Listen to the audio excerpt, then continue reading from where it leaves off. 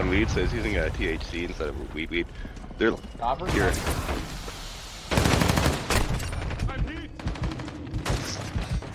Hold on, I'm gonna mortar the chopper. Okay. Oh, this is like, he literally ran up on you.